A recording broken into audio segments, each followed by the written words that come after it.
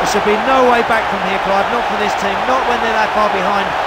He finished it beautifully, he knew exactly what he was doing.